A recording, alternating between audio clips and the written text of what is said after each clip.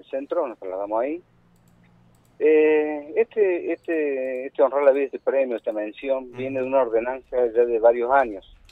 Fue realizada por la concejal Susana Lobo en aquellos años.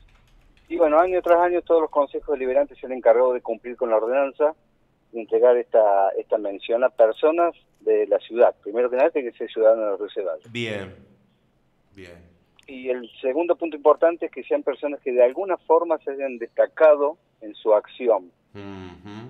Claro. Eh, digamos, no su acción si es docente, si es médico, si es bombero, si es lo que, lo que normalmente tiene que ser un ser humano como obligación, que es lo que todos debemos hacer claro, claro, eso no premiamos, eso no premiamos. claro, eso está, o está de obligación y no hay que premiarlo. Se premia lo otro, el plus. Bien. Yo diría, a ver, para explicarlo mejor, todo lo que aquella persona puede hacer de su ámbito, o en otro ámbito que no le corresponde, pero a favor de la sociedad, desinteresado, solidario, entregando parte de su vida, de sus horarios, de su trabajo, en los diferentes aspectos de la humanidad. Claro.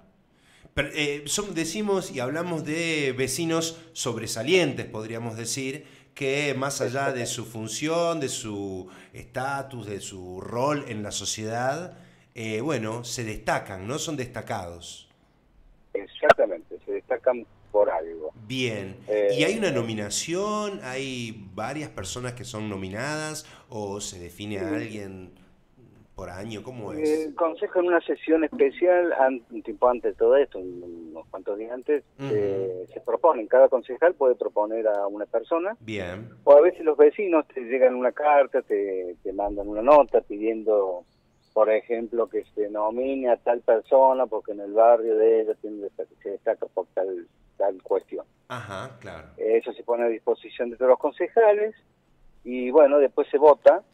Eh, el voto tiene que ser unánime, todos los concejales tienen que votar a favor de la persona, si hay uno que vota en contra no sale eh, nominado y eh, porque puede haber alguna razón que el otro no la conozca, que se yo, puede decir, bueno, para mí este es solidario, bueno, y por ahí otro dice otra cosa, entonces con la unanimidad de todos los votos se hace una ordenanza y se declara a esas personas que son las que van a recibir el premio este año.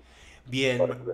Eh, concejal, y le pregunto históricamente o que recuerde algo que a usted le haya llamado mucho la atención y diga, esta persona, bueno, es un vecino, es una vecina que, que se ha destacado, no sé si, bueno, los, los, los recientes del 2018 o alguno que usted diga, este, este ha sido uno de los de los que más nos emocionó, por así decirlo, ¿no? Porque también llevará alguna carga emocional de que los vecinos hagan algún, algún trabajo, alguna, alguna movida, alguna actitud hacia, hacia por la sociedad, ¿no?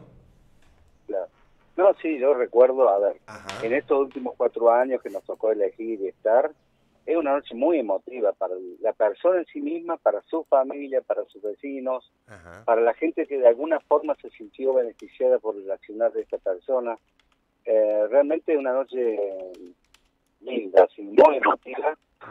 Por recordar personajes así del pueblo fue, por ejemplo, la noche que se me entregó a, a Pedro Millavaca. Bueno, Pedro Millavaca colaboró con todo el mundo, con quien no colaboró. Eh, otro fue la noche que se le entregó a la gente de Afán, que le ayuda a fraternal al necesitado, también. Gente, esas mujeres han trabajado por la, por la humanidad en Río Ceballos, pero y siguen haciéndolo, y ya quedan pocas porque son mujeres grandes, queda una sola persona de todo ese grupo, han hecho, han ayudado hasta construir casas para la gente, o sea, eh, no, es, eh, encontrar en, la sociedad ejemplos de solidaridad que son increíbles, que ponen la piel de gallina realmente. Eh, la noche, la que fue la del 15 de febrero, después de la catástrofe, la, mm, eh, esa honrar la vida que se honró a los hmm. a los muertos del, de la catástrofe, bueno, ni te cuento lo que ese día. Claro, claro. Fue claro. Bien, bien, bien. Eh, pero digamos, por, por suerte venimos, eh, venimos honrando la vida con, con, vecinos, con vecinas, con ciudadanos que, que, bueno, que vienen manifestando eso, en un desinterés, pero también unas actitudes que, que, bueno, que hacen que esto también sea, sea para bien, ¿no? que el desarrollo de una ciudad sea para bien. Eh, ¿Hacemos la invitación de nuevo, le parece, concejal, para mañana? Sí, sí, mañana 20 horas, explanada del municipio. Eh, si hay mal tiempo, clima, si llueve en la capilla histórica, realmente eh, están todos invitados, es una ceremonia linda. Y la verdad que esto es un poco darle el premio en vida, viste que se habla de, acá no se vaya, por ejemplo, la ordenanza de calles, de nombres públicos, es una vez muerto, después del año se te puede poner el nombre de una calle de una persona que fue ilustre para la sociedad. Y este es un homenaje en vida de personas que en vida se les puede homenajear y se les puede regresar por lo que han hecho por, el pueblo. Claro, y está ¿Eh? bien que así sea, está muy bien que así sea porque habla de, de eso, los homenajes tienen que ser en vida. Bueno, agradecemos muchísimo el contacto, Marcelo. Le mandamos un abrazo muy grande y ya sabe que aquí los micrófonos de Buena Vista Radio a su disposición para cualquier cosa, ¿sí? Bueno, muchísimas gracias. ¿eh? Bueno, muy bien. Ahí está, amigos, amigas. Hablamos, ¿no? Dijimos, vamos a hacer una nota de esto. Sí, ahí está, la acaban de escuchar.